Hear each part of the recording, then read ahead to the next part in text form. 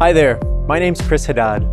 I'm a senior machine learning solutions architect in AWS's Global Health Division. Today I'm going to walk you through how we can leverage generative AI on AWS in order to reduce that excessive documentation. The first thing that we see within our demo is a mock electronic health record system. So this is typically what a physician is going to see when they walk through the door. There are a lot of patients that they have to see. We're going to focus today on John Smith at the top, but keep in mind, as we're walking through this mock patient and clinician experience, the amount of uh, patients that a physician might have to see within a day, and then oftentimes the notes uh, have to be recorded at the end of the day. Initially, we can see that we can leverage AWS HealthLake, which is where we can store electronic health records in a standardized format in order to summarize all of our patients' notes over a long period of time. This is going to surface uh, insights that are critical that the physician can capture immediately so that they can get started with the patient without having to re- review pages and pages worth of notes. When I hit begin, it's important that we ask the patient to be able to confirm that we're going to record. Let's do that.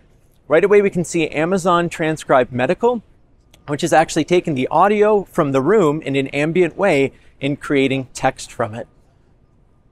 I'm going to hit end recording, which for the sake of the demo is going to finish the patient clinician experience. Now we move to another service called AWS HealthScribe. AWS HealthScribe is doing two things. The first is persona identification. That's where we can see who the doctor is, who the patient is, and what each one of them said. From there, we can actually go to the insights. Here we're surfacing insights from the patient clinician experience that we just had in order to in, integrate generative AI and AI in general at point of care, we need to have a high degree of transparency and the ability to validate. So as I move my mouse and hover over each one of these insights, we can see where in the transcript this information came from so the physician can make sure that the tool is, is working in an accurate way. The next section we look at is going to leverage a service called Amazon Q Apps. Amazon Q Apps uses an architecture called retrieval augmented generation. That's a two-step process. The first step in the process is an information retrieval process. That part of the process has been around for decades in machine learning. We then take those relevant excerpts of information and pass them to a large language model with specific instructions to answer the question using that data. Now, if that question can't be answered by that data, the large language model or generative AI model can say, I don't know. Now, I don't know might sound like a bad thing to get from a large language model, but the worst thing you can get is, I know, I'm confident I know, and I've completely made it up. So we can see that in play already as we're looking, as the generative AI model is looking through John Smith's allergies, and it doesn't find any allergies, and it says, there are no allergies for John Smith, which is correct. This information from the uh, the mixture of retrieval augmented generation agents is then passed to another orchestra or symphony of expert agents from the American Diabetes Association, a nutritionist, ophthalmologist, and even a podiatrist, where we can take a look at diabetic neuropathy or when somebody loses feeling in their feet.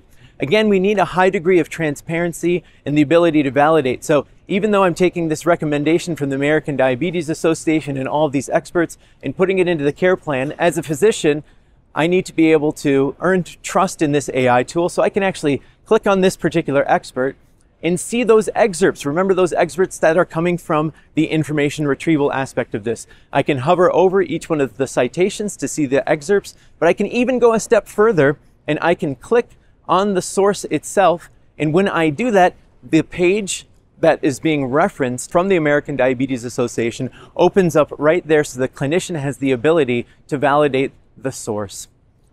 Furthermore, we can actually use citations from the care plan itself in order to find out where this particular advice came from, and again, find where the excerpts came from by hovering over these citations and even find the references.